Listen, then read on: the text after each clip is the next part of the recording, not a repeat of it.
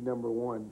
Right now, if, if, they could rap or sing along with their incredible dancing uh, in the 90s, there's no doubt in my mind that they would be probably the biggest drawing act in the world. The most amazing, amazing dancers I ever uh, seen in my life. Ever.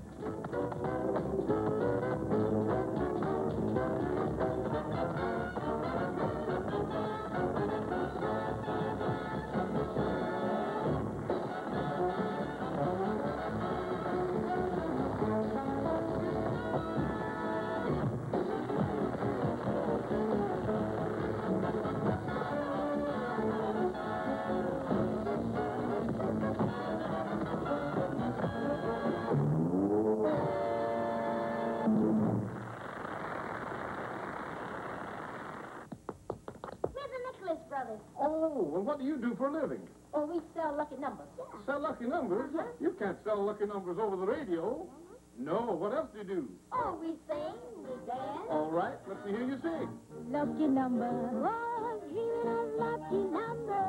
Hoping that those lucky numbers will show for me. Numbers gonna show for you and me. The Nicholas Brothers, Not even Harold and Fayard, are acknowledged to be one of the greatest dance teams ever. Their career spanned over 60 years, and yet their story has never been told. Can you sing? Can you dance? Well, I'll take a chair. Oh, ski.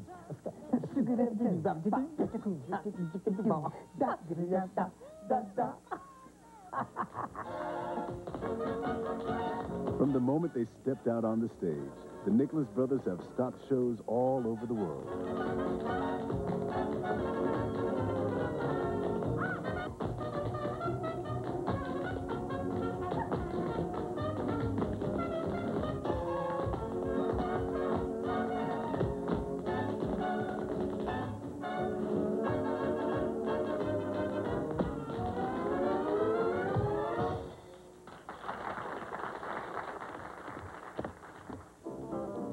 Brothers and their sister Dorothy spent much of their early childhood in Philadelphia, where their parents led the orchestra of the Standard Theater, a vaudeville house catering to black audiences.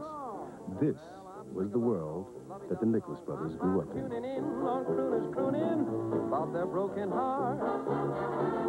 I've got I was told song, not a blue song, it's just when I was born, my mother used to take me to the theater in the, the bassinet. And she'd me right beside the piano as she was playing, and uh, my dad was playing, and the rest of the orchestra. So I guess that's how I got rhythm. I had memories of my daddy and my mommy. My mommy, my mother. when they were working in uh, in the theater, you know, in Philadelphia. And they used to come home and brother would be talking to him about how he enjoyed the show because he used to go to the theater there practically every day and watch the dances and things, you know. I guess maybe you he's told you this or you've heard it before. He taught me some steps, and we used to do things together, and we would, would, would show mother and dad. But obviously, I was not anxious enough about it, as Fayard was. So then he said, I'm going to start teaching Harold. I was showing him a step. And he was, he was having trouble getting this step. So I saw that he, he was having trouble. So I said, listen, we'll do it tomorrow. I see you having a little trouble now. And he said, no, no, I want to do it now. I said, now listen to me. We'll do it tomorrow. All right? He said, no, I want to learn it now. I said, okay. so I started teaching him again. And we went on and on for an hour. He finally got it. All I did was follow him.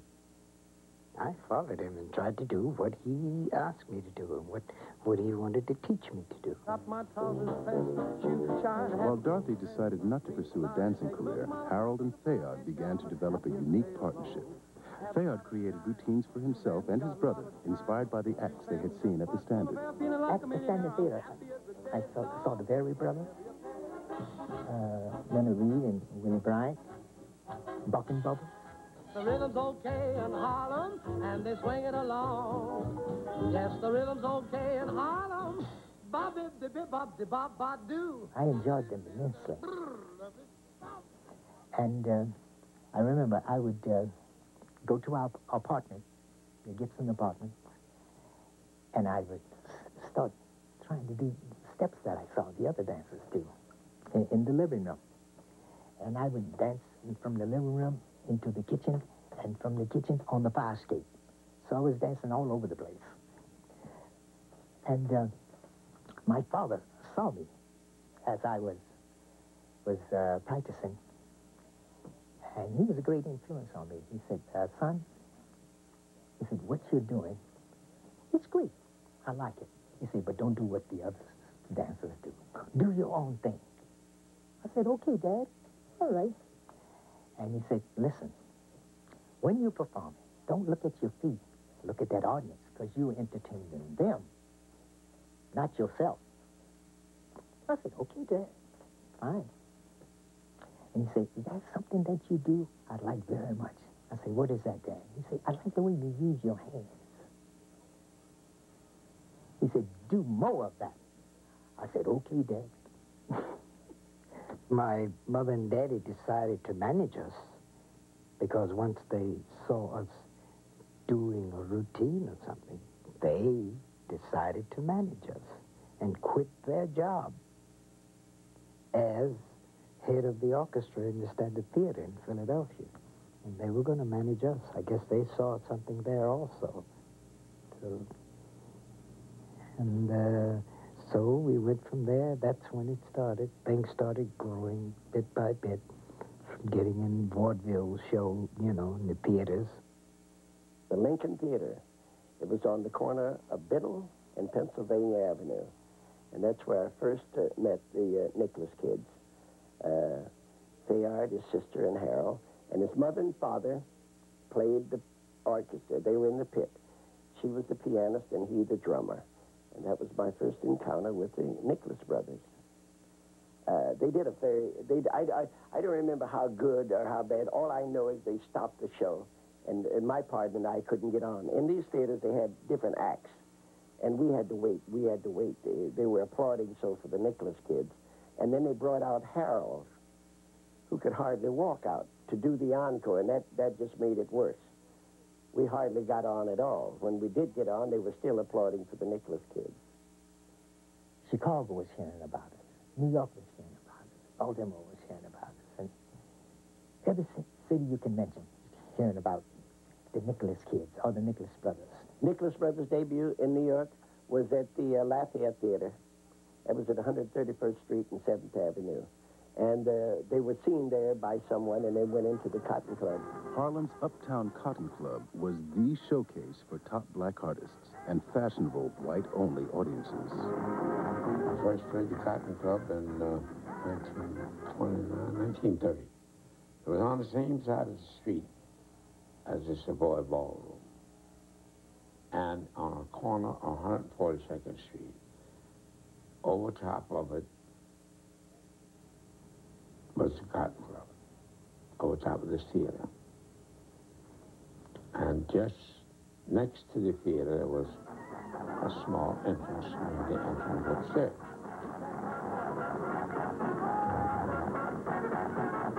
When you got there was a good fare, nice one. Herman Stark said he's got these kids.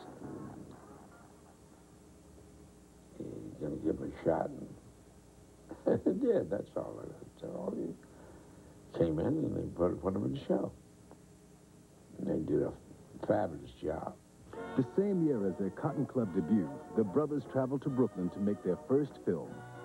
Well, my brother and I, we, we always wanted to make movies, and now we were going to make this short for Warner Brothers. And with, with the bright lights and the camera there, which was different from the stage. Much, much, much different, yes. Well, because naturally, you had an audience on when you work on the stage.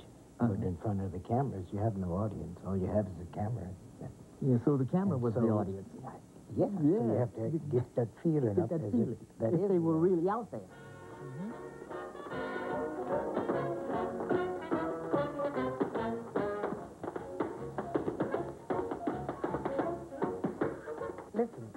I don't remember anything about Parker Blackbird, but but you, I'm sure you do because you used to tell me about it all. Yes, the yes. I did, didn't I? What do you oh, remember wait about minute. that? Let me refresh my memory. I tried to, but every time I look at it and see it, I just can't. It, it doesn't come back to me. I don't know why. Oh, you don't? But, uh, wait a minute. What's that? There's something we do. The part we do with uh, Nina Mae McKinney.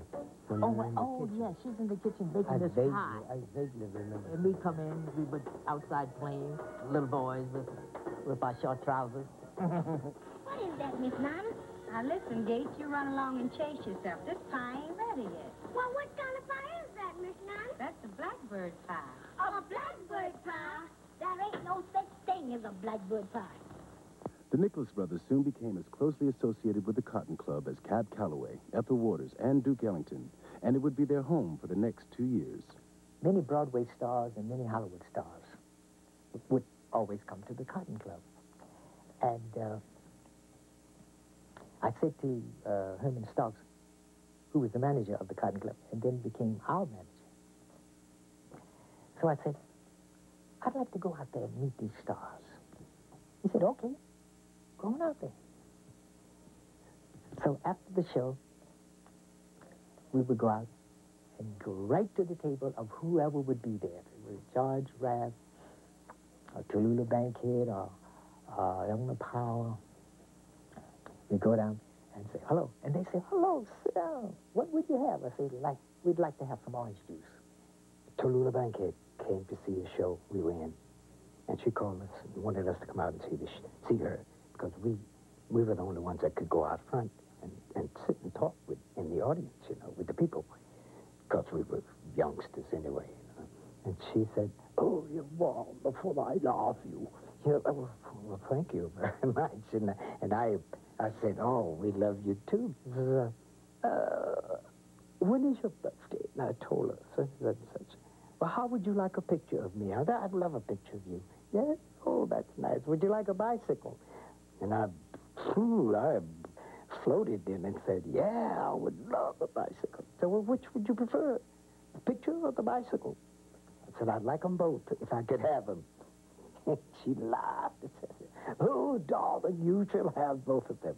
And the very next day, the postman rang, and there was a bicycle and a big photograph of Tallulah Bankhead. And, and I rode that bicycle all over Harlem. Everybody knew about that bicycle. They didn't allow black people to come into the Cotton Club in those days, uptown. The, didn't care how much money you had. If you came up, if you rode up there in, in, a, in a limousine with diamonds and everything, the doorman would stop you. And the doorman was black. He'd fight you if you tried to go into the Cotton That, those were his orders. So I, I didn't like that at all. There's nothing I could do about it. But I think my brother and I really started something that was good. Even though we were just little kids. When I asked Herman Stokes if I could go out and meet all these great stars. And he said, go. And then when I got a little older, I said, maybe the reason why we go out could go out there because we were just little kids. But I'm glad we did go out there because we sh- sh- could show them that black people had class. By the time the Cotton Club moved downtown to Times Square, the Nicholas brothers were headliners. A Cotton Club show was a show that was made up of actors, singers, dancers, and they made three huge ensemble numbers in every show. And then the acts were between. For an encore, Cab Calloway would, would uh, say to my brother, Come on here. I heard that you do an impression of me.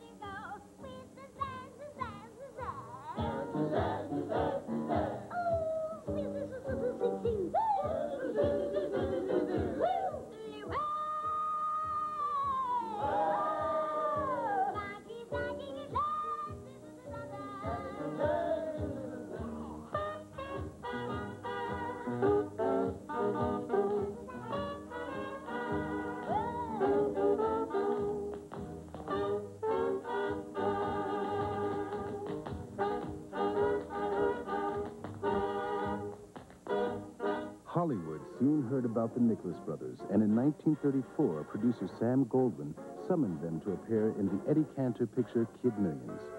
Other movie parts followed.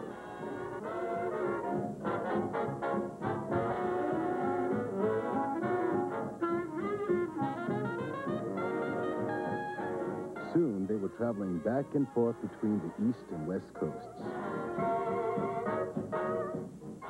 They made their Broadway debut in Ziegfeld Follies of 1936 with Fanny Brice, Josephine Baker, and Bob Hope.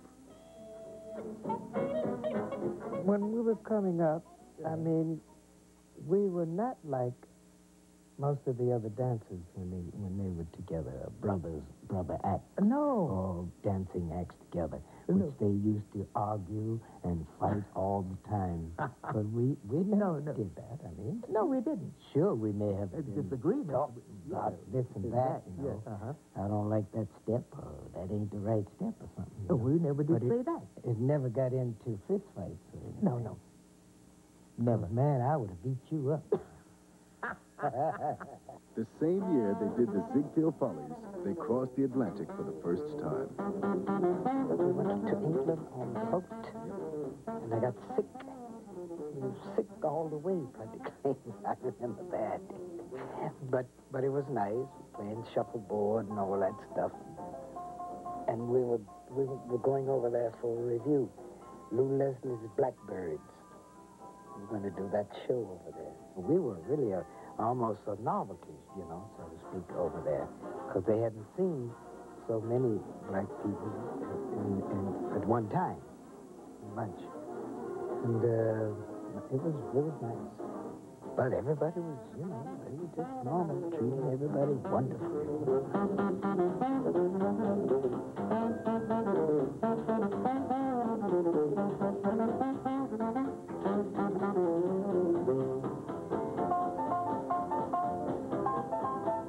Returning to America, they were featured in the hit Rodgers and Hart Broadway musical Babes in Arms, choreographed by George Balanchine. At the same time, they performed at the nearby Cotton Club well into the night. Afternoons were spent being privately tutored at their apartment in Harlem's exclusive Sugar Hill. By now, established stars in mainstream show business, the brothers have become the pride of the black community. They went outside of the art for us. They were symbols. They meant something. They meant a great deal to, to our community, to young blacks especially here. I don't know about the outside world, but they were they were our heroes at that time. Still are, you know. Uh, people like uh, Bill Robinson and and uh, the Nicholas brothers and and Joe Louis and you know they they stick out in our minds as the people who uh, inspired us and who we looked up to. You know, during the, during those hard days in this country. Back in the Depression days when they got their start, uh, many, many performers, of course, yearned to be like the Nicholas Brothers. I wanted to be like the Nicholas Brothers. I wanted, I wanted their success. I wanted to look like them and act like them and uh, make that kind of money. In a large town like New York or Chicago, you would see a very important film advertised, and on the marquee, it would, it would announce the presence of the black performers, even though they were only on the screen for two or three minutes. That meant the world to the black community, of course.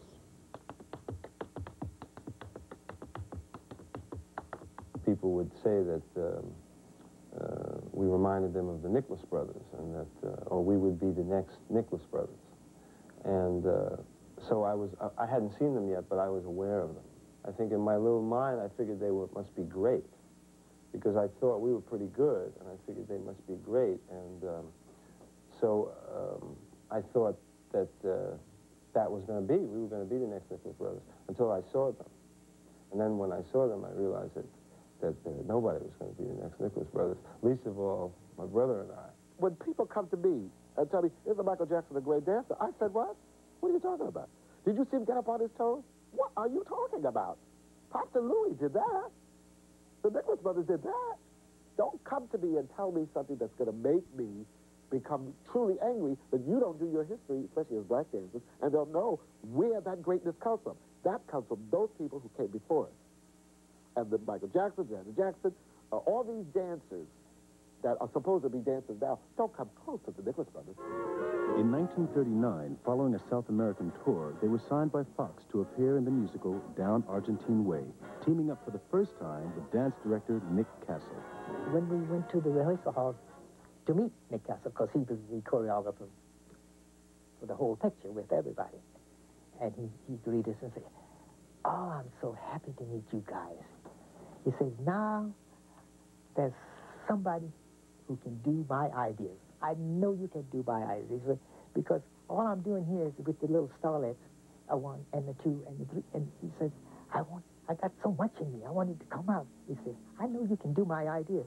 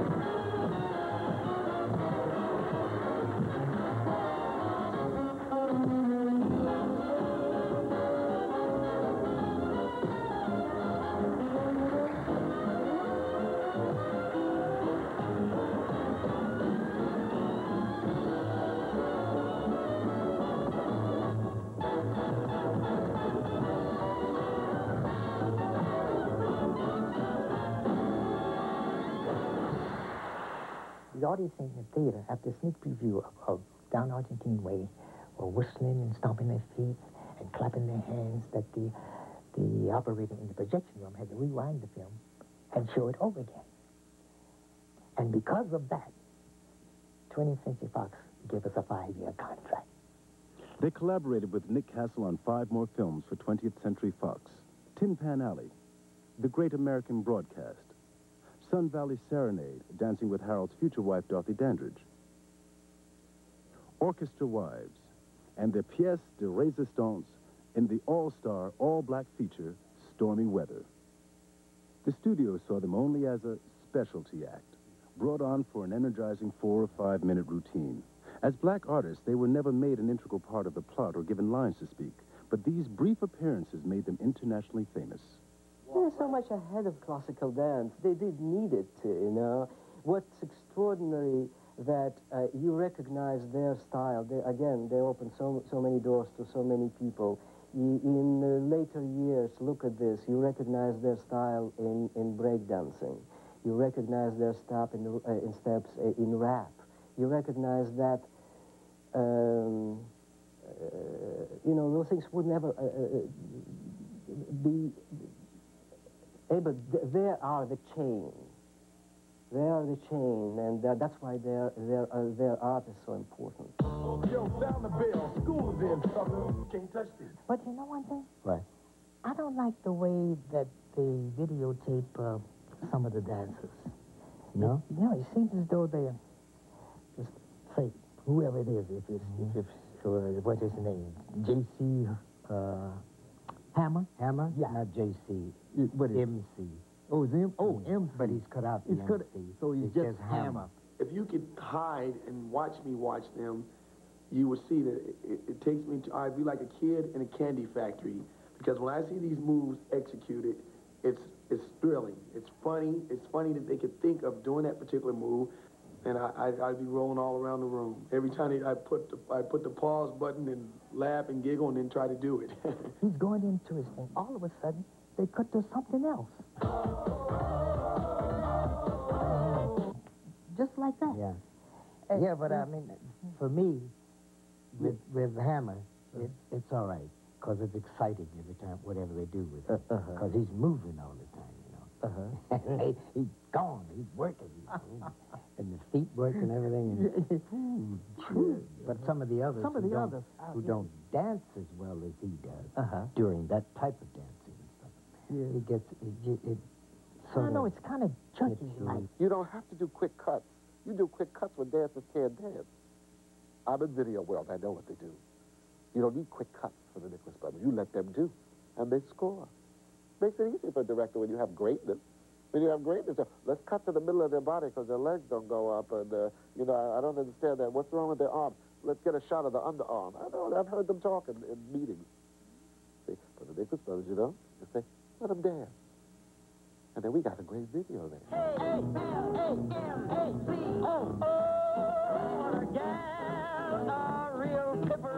She's a fine chick. I'm gonna make my for the kid I'm hurrying to.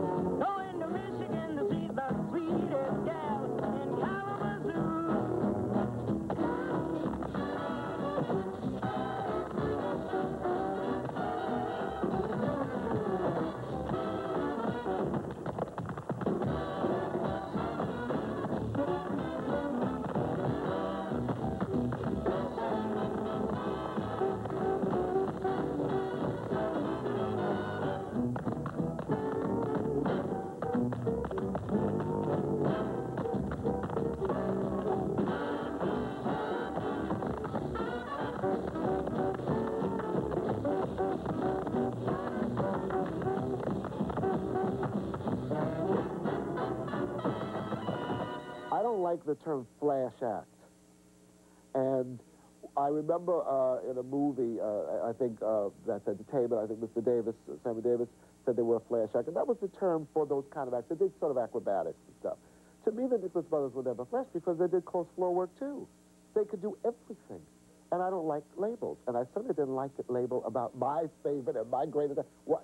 Put them in a category. Flash was trivialized them. They were never trivialized to me. They were they did everything. So how could you put them in a label? You know? Imagine what the Nicholas brothers could have done had they had the opportunity. Oh, it's frightening. But maybe that's why they weren't given the opportunity. You talk about your Donald O'Connors and Sammy Davis Jr. and and many of the other entertainers. He has it. He does everything. Just like they do. Only he does it better. people probably would say Fred Astaire was a natural dancer, you know, because he danced from head to toe. So, like I, I always say that if, if my brother, you know, got together with Fred Astaire, it would be one one Fred Astaire or one Fayard Nicholas, because I think that they were that close. uh, those acrobatics, uh, uh, elements of acrobatics, were never intentionally to punch audience to the to the face. They were always uh, emotionally ad- attached to the dance. They knew exactly where the climax of the dance, where they have to, they can really dance easy uh, uh, uh, and cool, and when they are uh, a smack audience across the face, when they tease uh, the audience, they were, and, and, it's, and that's a sign of just a true, true choreographic.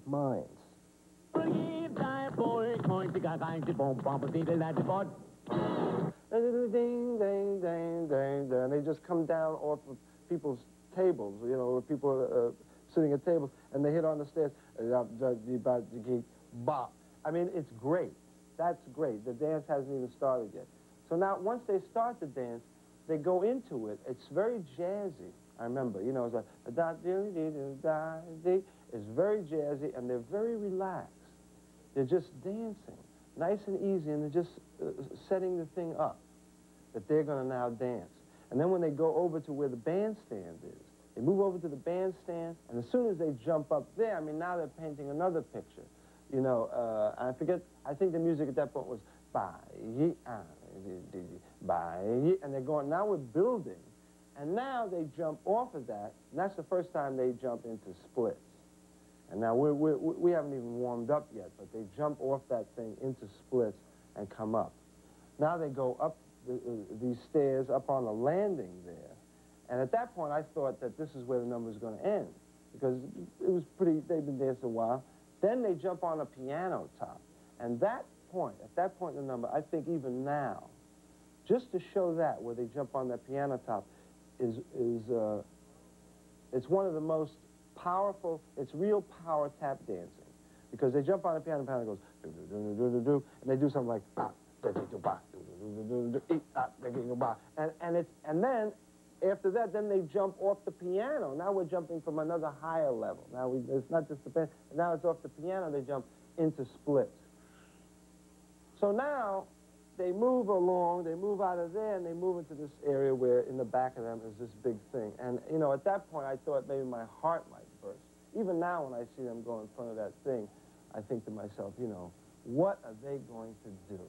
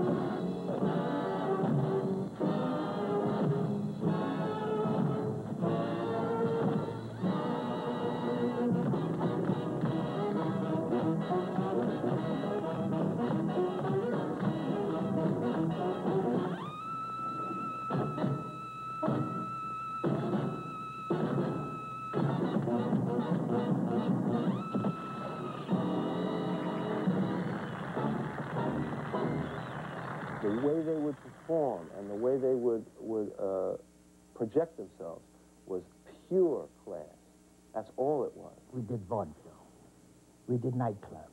Mm-hmm. We did movies. We did television. We, like I said before to other people who have interviewed us, that we have done everything in show business except opera.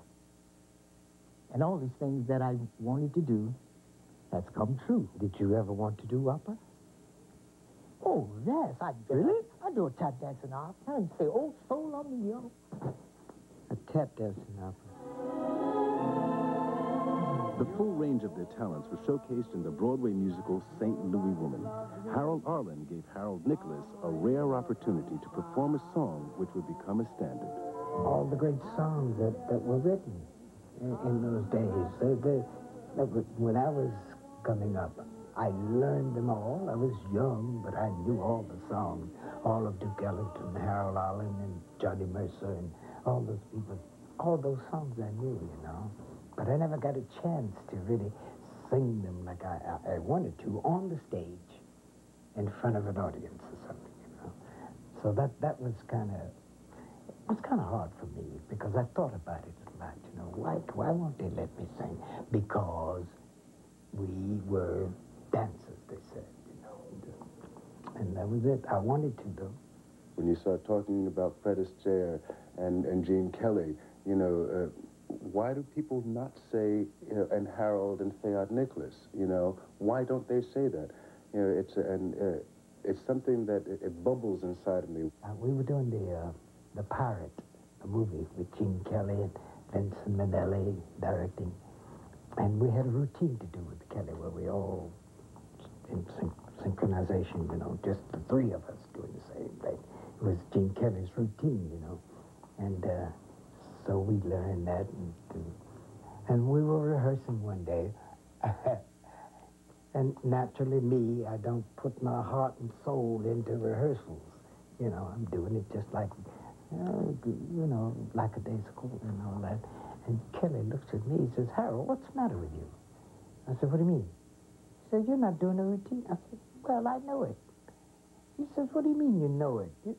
Because he and my brother were doing the routine like the cameras were rolling, you know, and everything. And they were perspiring and carrying on. He said, oh, man, we're working our heads off, and you just moping along. I said, but I know the routine. he says, you don't know it. You can't know it, we're doing like that. I said, Fayard, Gene Kelly, let's sit down and watch him do the routine. He says he knows it, but I bet he doesn't. Let him do it. So I says, oh, that, okay, I'll do it. Bam, music strikes up.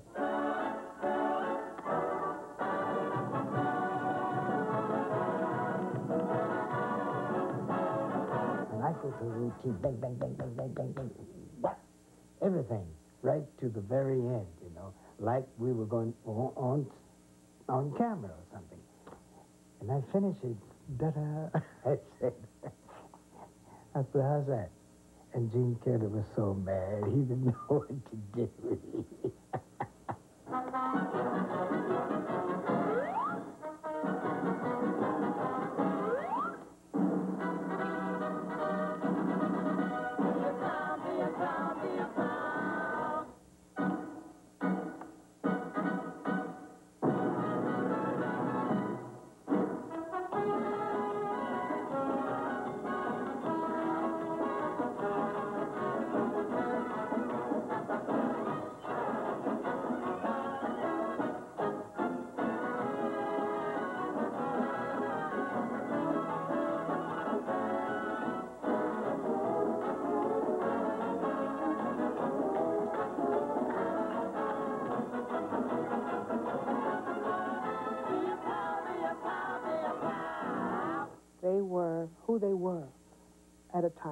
as gifted as they were, at a time when it was exceptional, unusual, but was not to be tolerated by a lot of people who didn't feel that they should get too far. And I hate to put this on that basis, but unfortunately that's what has existed throughout the United States. If you get too good, they won't hire you. The fact that one black was making it at that time, Sammy Davis Jr., uh, does not change the fact that uh, the reason that the Nicholas brothers didn't make it is because there wasn't room for more than just one black. There were room, there was room for a Fred Astaire and a Gene Kelly and a Ginger Rogers and a host of others, um, but only one black. And his wasn't the movements of a Nicholas brothers. The Nicholas brothers would have been a threat to a Fred Astaire or Gene Kelly. Because if you see, if I can walk on air, it's great if I'm the only one who can do it.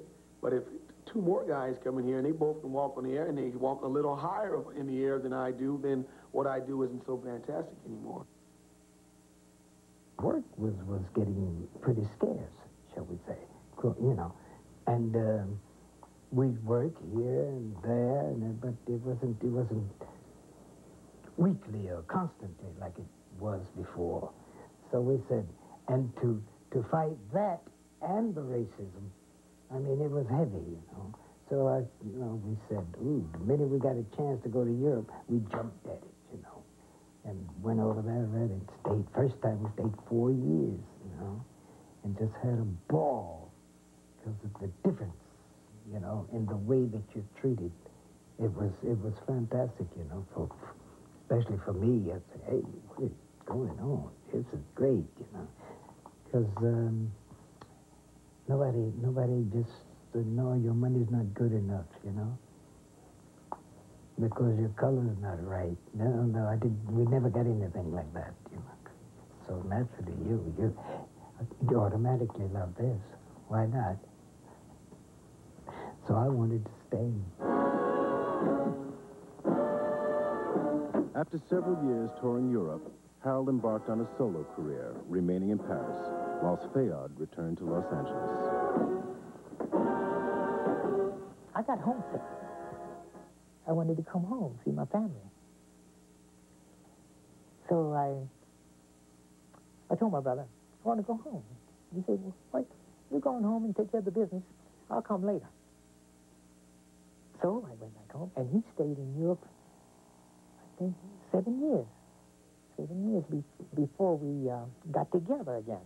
Welcome back. Uh-huh. How was it in Gay Paris? Mm, very good, very hmm. good. Do you remember this step? Step? Yeah. Yeah. Wait it now. Don't, not too much. Seven years is a long time now. Cool it. Take it easy. Oh, I think I can get into You that. Come on, let's try it Let's try it together. again. Are you ready? I'm ready. about this? A two Oh, oh, wait a minute. Hold the phone. Huh? What was that? Same step with uh, just a little uh, French accent.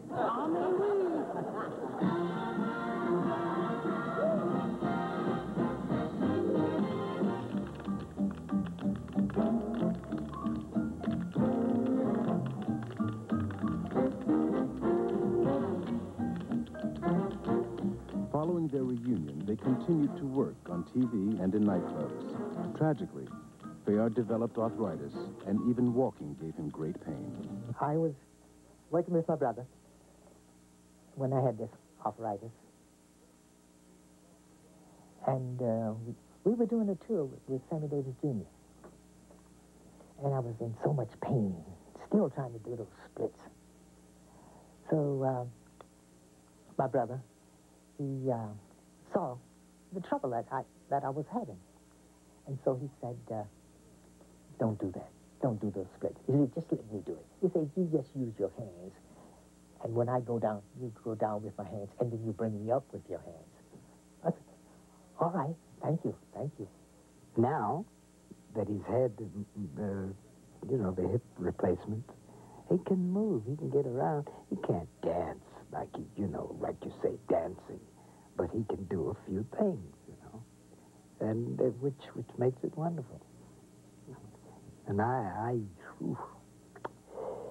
I used to, I used to feel very hurt myself watching him, you know, because he, that's his life. Dancing was his. So I had two hip replacements. And I guess you could call me the six million dollar man. Because now I'm walking better and dancing a little bit. Well, I'll show you what I mean. Chattanooga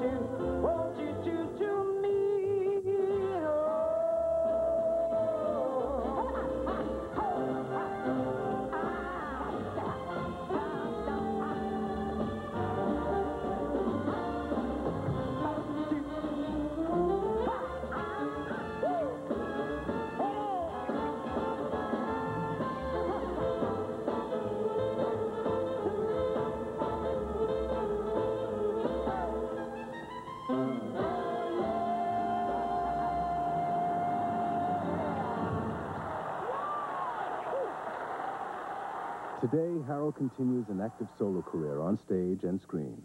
Fayard, semi-retired, recently accepted a Tony Award for co-choreographing Broadway's Black and Blue and makes frequent personal appearances. But the Nicholas brothers still get together for special occasions.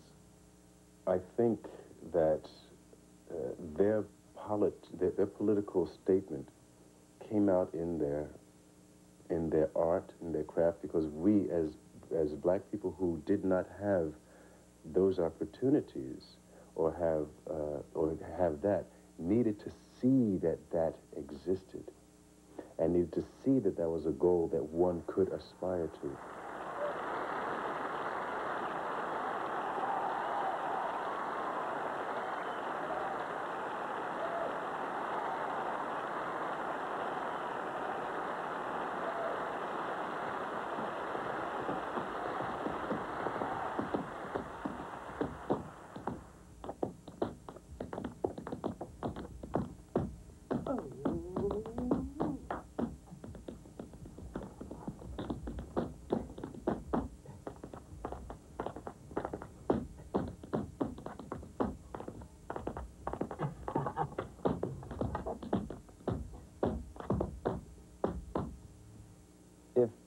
The Nicholas brothers could be defined by any one thing, which they can't, I think the stormy weather number can just hold up. You know, it, it is like Shakespeare. Generation after generation will be amazed at what they do. I would still like to have had my own, my own show. Uh-huh. Or my own uh, movie, or, you know, a movie for me. Well, well. Featuring me, Harold Oh, oh. And... and Hal Nicholas? Yeah, you know. And his brother. Something like that. started at the Cotton Club, but it was nothing other than they were a great act. People liked, liked them, they loved them. They established it there, and they have maintained it over a period of 60 or 70 years. That's a remarkable thing.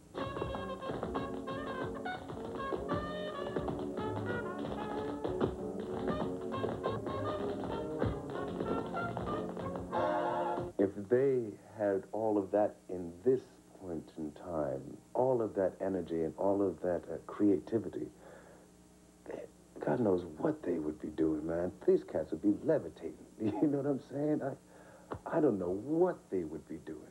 There's nobody like that. There really isn't, you know? See, I was speaking for both of us. No, Yes. you're not. He, no, the thing is, you you have to speak for yourself because that's what. Oh, yeah, people that's what- want what- to know. what they wanna know, and yeah. see, and then I speak for myself. Well, then I... But that doesn't mean that we're not still brothers. Oh, yeah, You know. When they dance together, it's magical. And anybody that's got any emotion and any feeling and any truth to themselves will react truthfully to that and give them the standing ovation they deserve.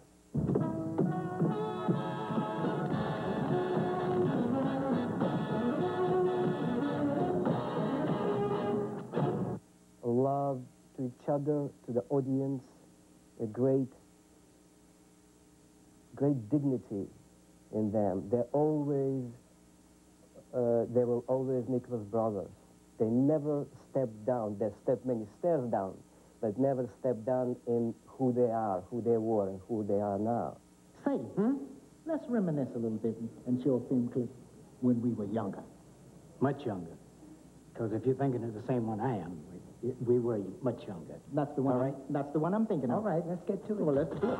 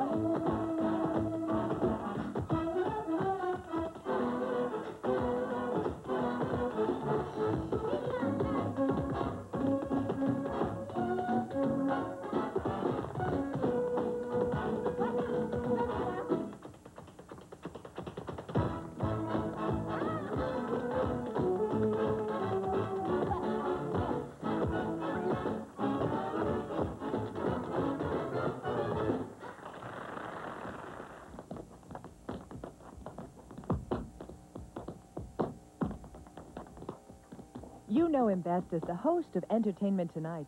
But did you know that John Tesh is a multi-Grammy award-winning composer? See him do what he does best as he performs live at Red Rocks with the Colorado Symphony Orchestra. Coming Saturday, February 25th at 8 p.m., right here on WLIW.